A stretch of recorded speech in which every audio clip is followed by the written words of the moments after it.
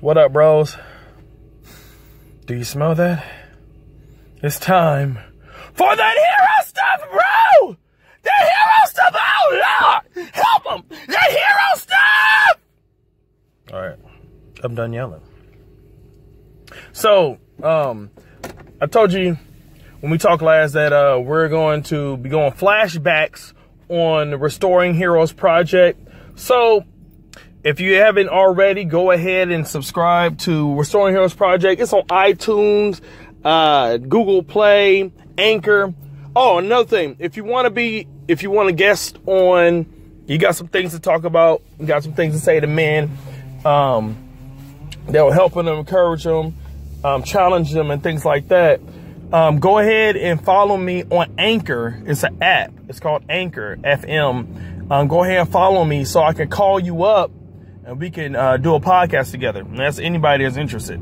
Um, but we're gonna have a, a couple conversations before. Make sure you ain't a, a jackleg or whatever. But anyway, so uh, today's podcast, uh, like I said, is a flashback. It's my second podcast ever, um, from like two years ago. But it's talking about the passive man, passive man 101. And I say on one spot that when I was younger, when I hear about the story of Adam and Eve, you have a, a, a thought in your head that Adam was somewhere else working while uh, Eve was getting finessed.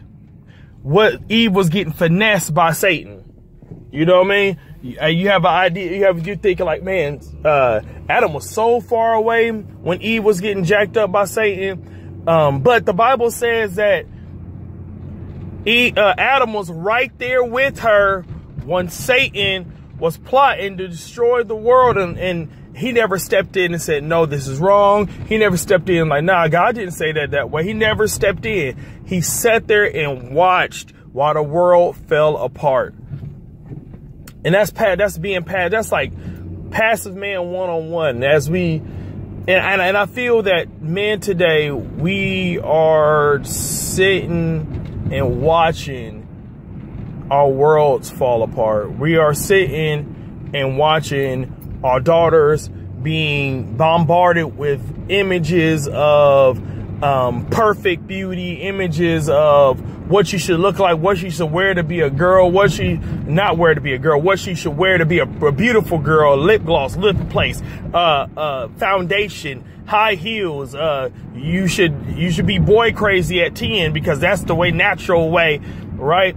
And then we also are getting sit here watching while our wives are getting bombarded by, well, you got to get it all. You can't just be a mother and a wife. You have to be a mother, a wife, uh, spaceman, uh, and then you have to be able to cook, but not cook all the time. And then you have to be able to be a be uh, and be an attorney, and then you can you can tuck the kids in at night and all that. You have to be superwoman. And we getting bombarded with all these things. Um, about our sons. Uh, now, now our sons being sons and wrestling around is a is a bad thing. So now, the, even the schools are joining in and telling us that boys um, being aggressive and not in a way that it's harmful, but they defend themselves. They they speak up. They don't want to sit down for two hours and listen to you talk. Who wants to do that? What seven year old, eight year old, five year old can sit down for two hours and listen to you talk about the little engine that could? No one. No, no five year old. I'm gonna stop yelling, but um, but we sit here and we watch those things and you watch it emasculate our men and we watch it, we watch Satan um, masculate uh, emasculate our men and, and, and inject masculinity into our women. Um, and we watch it and we just sit there and take it. And then when God shows up and asks, Adam, where are you? We hide in a bush. We hide. We sew leaves together and hide and say, nah, it was the woman's fault. It was the kid's fault. It was, it was, it was this fault and that fault. That's what we do.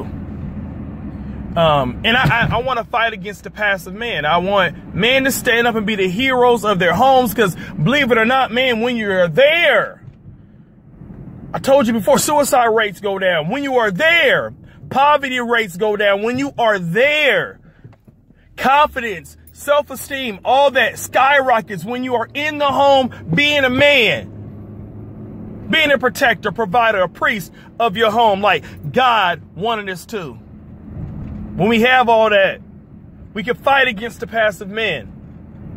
And that's all I got to say right now. So stand firm in the faith, act like men, and be strong. Ah!